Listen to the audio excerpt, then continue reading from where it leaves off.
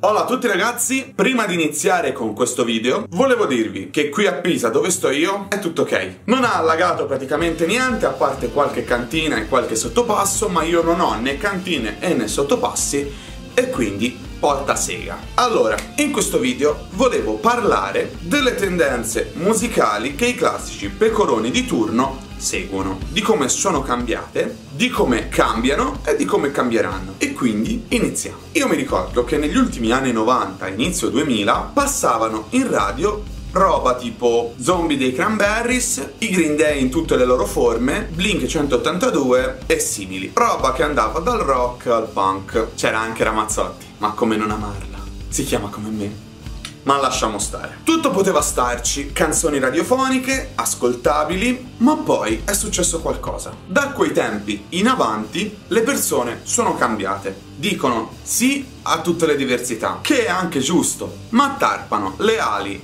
ed oscurano ogni cosa che manda un messaggio diverso rispetto agli standard, chiaramente. È come dire, io accetto le persone diverse, però non voglio né averne a che fare, né vederle, né incontrarle. Le accetto, sì, ma in un bunker 10 km sottoterra. E non solo nella musica, ma anche nella vita di tutti i giorni. Io li chiamo falsi buonisti. Sono quelli che fanno le frasi fatte e poi fotte sega del mondo. Quelli che mandano la gente a vivere sotto i ponti e poi dicono povera Italia. Insomma, ci siamo capiti. Quindi, tornando alla musica, farò un esempio. Alvaro Soler lo passano in radio perché fa canzoni d'amore e fa il piacione. Il classico che tutte le occhette vorrebbero e che tutti i ragazzi fantoccio vorrebbero essere. Invece magari persone che fanno musica diversa, magari socialmente impegnata, magari con una mega cresta e dei tatuaggi, non passano in radio perché danno un messaggio sbagliato alle nuove generazioni. Passando di palo in frasca è un po' quello che è successo anche nei cartoni animati. Basta pensare a quanto sono cambiati i cartoni animati dagli anni 90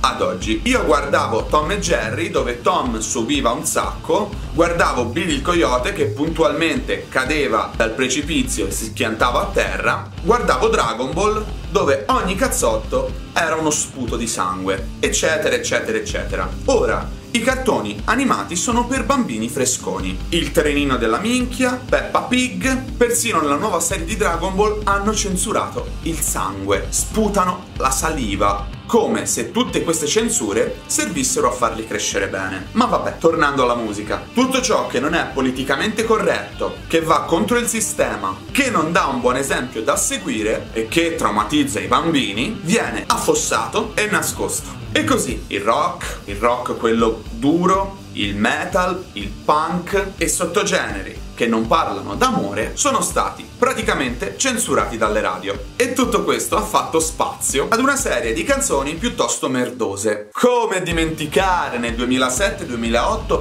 i Tokyo Hotel che ci hanno fracassato le palle per un anno e poi sono spariti e clamorosamente sono l'ultimo barlume di chitarra distorta alla radio. Barlume de merda. Dopo siamo passati a quasi tutta roba elettronica e preconfezionata. E molti artisti hanno anche iniziato ad ostentare i loro quattrini e ad avere voglia di farci sapere che loro facevano i party, non quelli Spinga signora, spinga!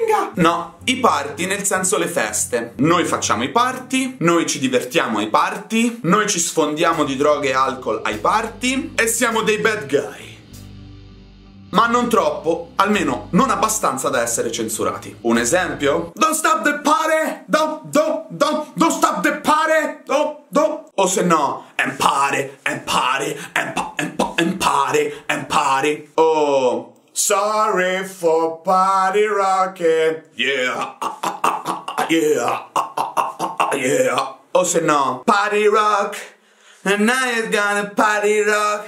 E, e, e, eccetera, eccetera, eccetera. Come se questo fosse un buon esempio da seguire. Comunque, tutto questo praticamente dal 2011 al 2015. Nel 2015 hanno detto, mmm, ci siamo rotti le palle dei party. Adesso dobbiamo iniziare a mettere il cazzo di riflettino figo che pompa nel mezzo ad ogni canzone con testi buonisti. E puntualmente, anche qui, tutti a fare esattamente la stessa cosa strofa, ritornello, riffettino, strofa, ritornello, riffettino, bridge, riffettino, ritornello, riffettino. E siamo arrivati al 2017 Oltre al marasma di canzoni di merda del 2017, abbiamo iniziato ad osservare un fenomeno che c'è sempre stato, ma in questi due anni ha preso un po' troppo piede. E soprattutto in Italia. Di cosa sto parlando? Sto parlando delle canzoni di circostanza. Quelle canzoni fatte e scritte apposta per essere lanciate in un determinato periodo o contesto per magari con un po' di fortuna diventare tormentoni. Ci sono sempre state le canzoni dell'estate. Sempre. Come ci sono sempre state le canzoni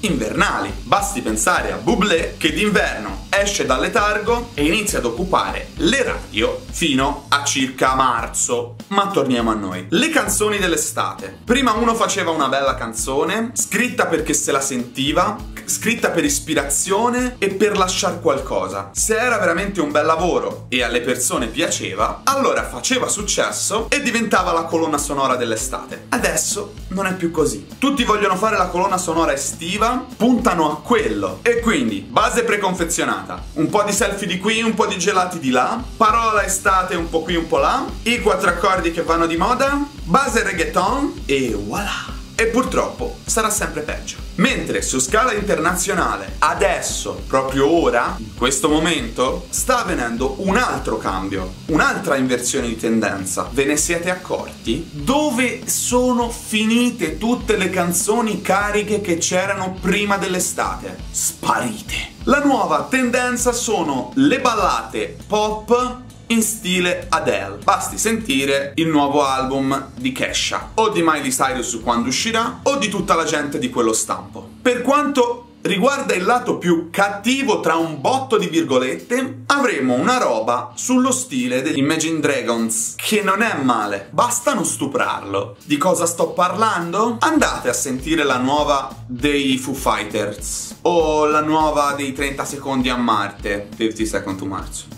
Quella dei 30 secondi a Marte è praticamente radioactive, secondo me è un plagio, ma vabbè. Comunque, aspettatevi questo. Per il prossimo anno, purtroppo, credo sarà così. Sarei felice di sbagliarmi, ma i presupposti perché sia così ci sono tutti. Comunque, mi sembra di aver parlato anche troppo. Se ho tralasciato roba, mi scuso, ma dovevo tagliare corto, se no veniva un monologo di un'ora e mi sarebbero cascate le palle pure a me. Comunque, fatemi sapere cosa ne pensate nei commenti e prego i soliti ignoti di argomentare. Se siete d'accordo con me e questo video vi è piaciuto lasciate un bel polliciozzo in su. Se non l'avete ancora fatto iscrivetevi al canale. Se volete seguirmi in tutto quello che faccio e che farò, passate anche dalla mia pagina Facebook, il link lo sparo giù in descrizione, lasciate un bel mi piace anche lì. Noi ci becchiamo presto in un nuovo video e quindi... Ciao!